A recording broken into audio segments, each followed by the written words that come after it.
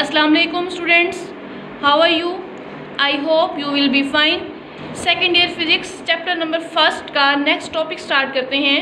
Topic का नाम है electric field as a potential gradient या इसको हम यूँ भी कह सकते हैं। इस इस टॉपिक में हम हम रिलेशन को डिस्कस करेंगे between electric intensity and potential difference इस टॉपिक को एक्सप्लेन करने से पहले हमें पता होना चाहिए जो वर्ड ग्रेडियंट है, ये क्या है। स्टूडेंट चेंज होते हैं, वो दो तरह की चेंजेस होती हैं, आप जब डिस्कस करते हैं। फॉर एग्ज़ाम्पल अगर कोई बॉडी है, ठीक है, वो मूव कर रहा है from point A to B तो डिस्प्लेसमेंट कवर करेगा विद रिस्पेक्ट टू टाइम ऐसा बॉडी जिसमें चेंज आए विद रिस्पेक्ट टू टाइम तो उसको आप बोलते हैं फॉर एग्ज़ाम्पल अगर डिस्प्लेसमेंट चेंज होगा तो आप बोलेंगे विलोसिटी अगर विलोसिटी चेंज होगी तो आप बोलेंगे एक्सलरेशन एंड सोन अच्छा हम हम ऐसा चेंज डिस्कस करेंगे जिसमें हम टाइम को इंक्लूड ना करें, ठीक है? ऐसे चेंजेस जो विद रिस्पेक्ट टू टाइम तो ना हो, लेकिन with respect to distance Maihar किए जाएँ, उसको हम बोलते हैं ग्रेडियंट ठीक है? अब वही प्रीवियस टॉपिक जो हमने ब्रीफली एक्सप्लेन किया था, उसी की डायग्राम को डिस्कस करते हैं देन अपना टॉपिक स्टार्ट करेंगे।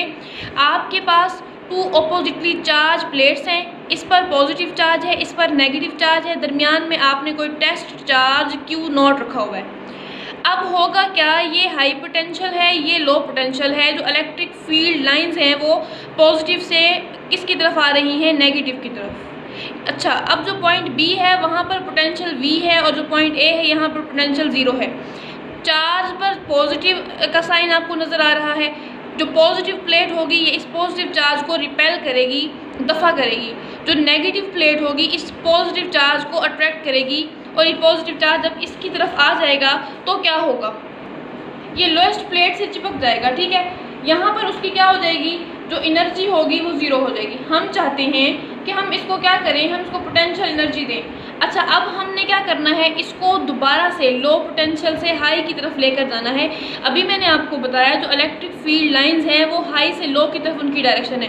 अब चार्ज ने कहाँ से मूव करना है? लो से हाई की तरफ़ लो से हाई की तरफ़ भेजने के लिए हमें यहाँ पर कोई फोर्स अप्लाई करनी पड़ेगी। जब फोर्स अप्लाई होगी तो ये चार्ज वर्क करेगा।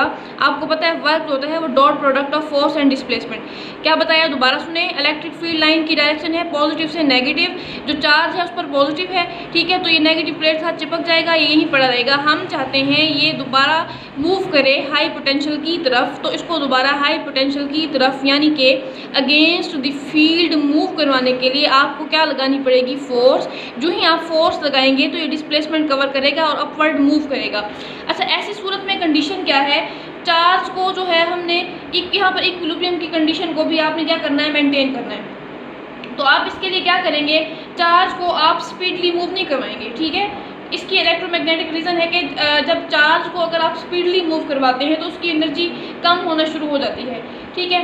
तो आपने क्या करना है? चार्ज का मैग्नीट्यूड अच्छा एनर्जी कम का मतलब चार्ज का मैग्नीट्यूड कम होना शुरू हो जाता है। वो इलेक्ट्रोमैग्नेटिक वेव प्रोड्यूस करना स्टार्ट कर देता है। अब क्या करेंगे? हम इसको स्पीडली नहीं, हम इसको स्लोली आहिस्तगी से मूव करवाएँगे तो क्या होगा? हम इस पर क्या कर रहे हैं? इस पर वर्क करते हुए फोर्स लगाकर डिस्प्लेसमेंट कवर हुआ, यानी कि वर्क करते हुए इसको हम किसकी तरफ़ लेकर गए? हम इसको हाई पोटेंशियल की तरफ़ लेकर गए। जब ये हाई पोटेंशियल की तरफ़ गया, यानी कि इसको यहाँ पर वर्क डन हुआ वर्क डन हुआ तो इसको क्या मिली? पोटेंशियल एनर्जी मिली, ठीक है? अब हम इसको मैथमेटिकली एक्सप्लेन करते हैं। ये इक्वेशन आपको नज़र आ रही है potential at point B potential at point A equal to work done A B q naught यानी कि इस चार्ज पर वर्क हुआ, इस चार्ज ने मूव किया from point A to B ठीक है? यहाँ से हमें क्या मिला? यहाँ से हमें पोटेंशियल मिला। अब अब कहता है वर्क को हम कैलकुलेट कैसे करेंगे? वर्क जो है, ये dot product of force and displacement है। यहाँ पर डॉट को रिप्लेस करेंगे तो आपके पास आएगा F D cos of theta theta one eighty क्यों पुट किया? थीटा वन एटी इसलिए पुट किया जो एफ़ एंड डी है are in opposite direction therefore जो एंगल होगा वो 180 का होगा। यहाँ पुट करेंगे तो ये आएगा W equal minus F D ये बहुत पुराना रिलेशन है, आपने इसको बहुत बार देखा भी क्या ये रिलेशन है E equal F over q naught electric is equal to force पर यूनिट चार्ज अच्छा इसको हम जब अरेंज करेंगे तो ये बनती है F equal q naught E इसको क्वेश्चन नंबर टू में पुट करेंगे तो यहाँ से आपको क्वेश्चन मिलती है W equal minus q naught E D ठीक है? ये हमने वर्क की वैल्यू निकाली। इसी वर्क की वैल्यू को आप किसमें पुट करना चाहते हैं? जो आपकी मेजर इक्वेशन थी ये वाली W A B over q naught यहाँ पर आपने पुट किया, वर्क निकला आपके पास क्यू नॉट ई डी क्या निकला? क्यू नॉट ई डी इसको जब आपने पुट किया तो आपके पास फाइनल रिलेशन निकला। Q naught q naught cancel हो जाएगा ई डी आ जाएगा। V B minus V A equal minus E D V B minus V A को, इसको हम चेंज इन पोटेंशियल भी लिख सकते हैं ई एज इट इज़ आएगा डी को आप रिप्लेस कर सकते हैं डेल्टा आर डेल्टा आर किसके बराबर होता है? इसको आप वो भी कह सकते हैं D two minus D one ठीक है? यानी कि इसने मूव किया फ्रॉम पॉइंट ए से point B delta V equal minus E delta R इससे इक्वेशन आपको मिलेगी E equal minus del V over del R अब उसको एक्सप्लेन करते हैं कि उस इक्वेशन में हम क्या बात कर रहे हैं। उसको, ये इक्वेशन है E equal minus del V over del R अच्छा अब हम हम आपने ये तो बता दिया कि ग्रेडियंट का क्या मतलब है? ग्रेडियंट का मतलब ऐसा चेंज जो विद रिस्पेक्ट टू डिस्टेंस तो हो विद रिस्पेक्ट टू टाइम ना हो, ठीक है? अब इसकी डेफिनेशन पढ़ते हैं। The quantity del V over del R ये है rate of change of maximum value of potential with respect to distance del V क्या है? पोटेंशियल ठीक है? डेल आर क्या है? Distance quantity del V over del R क्या बता रही है? रेट ऑफ़ चेंज चेंज है, अभी बताया था चेंज होगा। विद रिस्पेक्ट टू टाइम नहीं होगा विद रिस्पेक्ट टू डिस्टेंस होगा। जी रेट ऑफ़ चेंज है, ठीक है? मैक्सिमम वैल्यू है पोटेंशियल की। विद रिस्पेक्ट टू डिस्टेंस इसको हम बोलते हैं पोटेंशियल ग्रेडियंट यानी कि चार्ज था, ठीक है पॉजिटिव दो प्लेट्स के दरमियान पड़ा हुआ था, यूनिफॉर्म फ़ील्ड था, ये याद रखिएगा, फ़ील्ड हमेशा यूनिफॉर्म होगा और एक इक्विलिब्रियम की कंडीशन होगी, यानी कि जो चार्ज की वेलोसिटी होगी वो सेम रहेगी बार बार वो चेंज नहीं होगी। तो आपने क्या किया था, जब वो पॉइंट बी से ए की तरफ़ उसने मूव किया था तो ड्यू टू अट्रैक्शन वो ए पर चिपक गया था।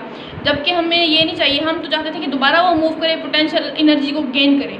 अच्छा पहले उसके पास काइनेटिक एनर्जी थी, जब वो वापस अगेंस्ट द फ़ील्ड मूव करता हुआ बी की तरफ़ जा पहुँचा तो उसको वहाँ से मिली पोटेंशियल और पोटेंशियल को हमने लिया इन टर्म ऑफ़ वर्क जो उसने वर्क किया था फ्रॉम पॉइंट ए से बी जाने के बाद तो उससे हमें ये रिलेशन मिला। ये क्या है? ये चेंज है। रेट ऑफ़ चेंज है, ठीक है? Rate of change of potential with respect to time अच्छा अब आपने ये बताना है कि माइनस का साइन क्या इंडिकेट कर रहा है? एम में भी आ सकता है। नेगेटिव साइन जनाब इंडिकेट कर रहा है डायरेक्शन ऑफ़ ई जो है अलोंग डिक्रीजिंग पोटेंशियल क्या मतलब? From low potential to high potential मैंने आपको अभी बताया और एक बार फिर बता रही हूँ। जो चार्ज है, जैसे ही वो लोअर पोटेंशियल की तरफ़ जाएगा, जहाँ पर लोअर पोटेंशियल यानी कि लो प्लेट पर कौन सा चार्ज है? नेगेटिव चार्ज है और जो आपका टेस्ट चार्ज है, वो पॉजिटिव है।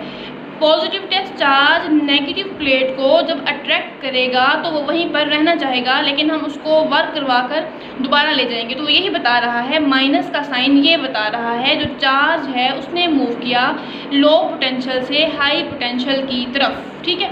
अब अगर इसका हम यूनिट निकालें तो जनाब डेल्टा वी जो पोटेंशियल है, इसका यूनिट वोल्ट होगा और डिस्टेंस का यूनिट आपको पता है मीटर ये बन जाएगा वोल्ट पर मीटर इंटेंसिटी का यूनिट दूसरा यूनिट है फार्मूला e, आपने अभी पीछे पढ़ा E equal F over q यहाँ से फोर्स का यूनिट क्या है? न्यूटन चार्ज का यूनिट क्या है? कोलम यानी कि न्यूटन पर कोलम आपके पास एक बहुत ज़बरदस्त इंपॉर्टेंट शॉर्ट क्वेश्चन बनता है कि आपने प्रूफ करना है वोल्ट पर मीटर बराबर है न्यूटन पर कॉलम के कैसे? ये एमसीक्यूज में भी आता है बार बार very common and very important MCQs है ठीक है? और यही कंसेप्ट शॉर्ट क्वेश्चन में भी आता है। ये था आज का टॉपिक पोटेंशियल ग्रेडियंट जो नेक्स्ट टॉपिक है, इंशाल्लाह उस पर हम नेक्स्ट लेक्चर में बात करेंगे। आपने इस लेक्चर को अच्छी तरह से रीड करना है, ठीक है? कोई कंसेप्ट या कुछ भी आपको समझ ना आ रहा तो आपने लाजमी पूछना है। जैसा कि आपको पता है ना कि आपने फ़र्स्ट ईयर में भी एक्सरसाइज वाले शॉर्ट क्वेश्चन पर फोकस किया था। सिमिलरली सेकेंड ईयर में भी शॉर्ट क्वेश्चन पर नो कम्प्रोमाइज़ आपने अच्छी तरह से एक्सरसाइज वाले शॉर्ट क्वेश्चन भी करने हैं एक्स्ट्रा शॉर्ट क्वेश्चन भी करने हैं। एमसीक्यूज़ जो टॉपिक आप पढ़ते हैं, उसको डेली बिहाफ पर, उसी से रेलिवेंट जो एमसीक्यूज़ होते हैं, उनको भी लाजमी डिस्कस किया करें, ठीक है? और लेक्चर्स के दौरान जो आपके पास एग्जांपल्स आ रही होती हैं, आप उनको भी लाजमी डिस्कस किया करें। अगर कोई क्लियर कोई बात आपको समझ ना रही हो या कोई भी इशू तो आप लाजमी शेयर किया करें, ठीक है? Best of luck next lecture तक.